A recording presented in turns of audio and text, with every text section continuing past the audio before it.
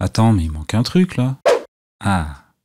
Et yo, c'est Dej ou Pierre dans la vraie vie. Aujourd'hui, j'aimerais vous montrer une petite astuce que j'ai trouvée en apprenant qu'il y avait un add-on déjà inclus dans Blender et qui s'appelle Storage View. Euh, je ne vais pas vous montrer comment on installe un add-on, hein. il suffit d'aller le chercher, donc Stored Views avec un S à la fin, mais Stored devrait suffire si vous faites une recherche dans vos add-ons. Je clique sur Initialize, donc pour initialiser l'add-on, on va dire. Je vais maintenant créer une nouvelle vue en cliquant sur Save Current.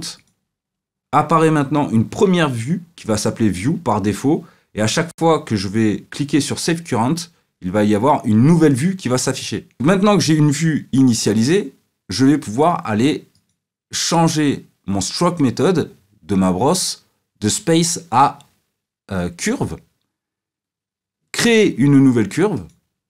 Et les curves, si vous ne connaissez pas, je vais expliquer rapidement. Donc, c'est l'utilisation de courbes pour pouvoir appliquer l'effet d'une brosse le long d'une courbe. Maintenant que j'ai une courbe qui est ajoutée, je retourne sur mon objet CTRL clic droit pour initialiser le premier point. En maintenant le clic, je peux ajouter des poignées. Tant qu'on trace notre courbe, il faut rester appuyé sur CTRL et utiliser le clic droit pour ajouter des points. Ensuite, on peut déplacer les points et les poignées avec le clic gauche. Comme ceci, par exemple. Donc là, j'ai la, brosse grise. Je vais faire entrée. Alors attention quand même, le radius de votre brosse compte évidemment. Si je laisse à 87, là je pense qu'on va être sur euh, voilà quelque chose d'absolument énorme. Donc je vais faire CTRL Z. Je vais baisser mon radius, je sais pas, à 16 par exemple, et je vais faire entrer pour appliquer l'effet de ma brosse. Et comme on peut voir, c'est ultra précis et on peut jouer sur la strength pour avoir plus ou moins d'effets. Le problème de cette option curve, c'est que si je tourne autour de mon objet, je perds la vue que j'avais initialement quand j'ai tracé mon creux. Et c'est très compliqué en fait de revenir dessus en étant, euh, on va dire, assez précis. C'est là qu'intervient le Storage View, qui va me permettre, en cliquant sur le petit cube ici, de revenir sur la vue à laquelle j'étais quand j'ai appliqué mon effet. Euh, on va, je vais en creuser un autre, par exemple, je, vais rester sur celui-ci. Celui-ci, je vais l'appeler euh, courbe 1, admettons. Voilà. J'ai envie d'ajouter, euh, je ne sais pas, un petit effet ici. Je vais créer une nouvelle courbe. Qu'est-ce que je pourrais faire? On va, tiens, on va prendre du plat, par exemple. On va prendre celui-ci, le scrape. Je retourne dans, du coup, stroke, space, curve. Je vais créer une nouvelle courbe. Je peux très bien reprendre cette courbe-là. Hein. Tiens, d'ailleurs, je vais essayer. Je me remets sur ma vue.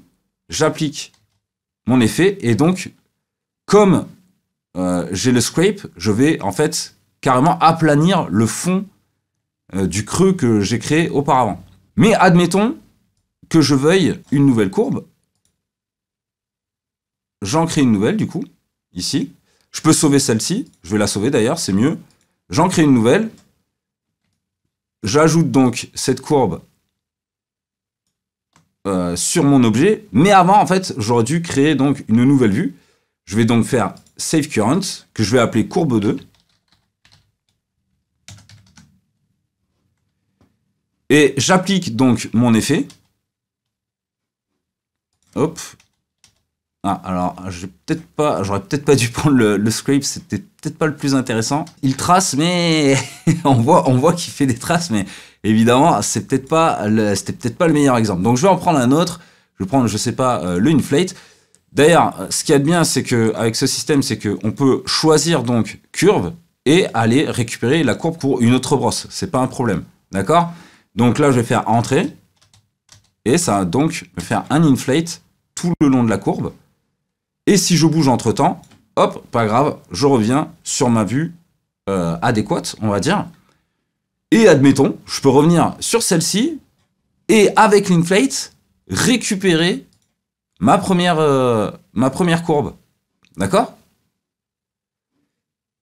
Ce qui va nous permettre de faire un setup entre le storage view et les courbes pour pouvoir revenir sur certains détails au cas où euh, on a dû faire un smooth ou on a dû euh, modifier encore l'objet et ce qui a altéré plus ou moins la modification qu'on a fait avec ces courbes. Et voilà, j'espère que cette petite vidéo très courte vous a appris quelque chose. N'hésitez pas à venir me voir en live sur euh, Twitch, il y a le lien sous la vidéo.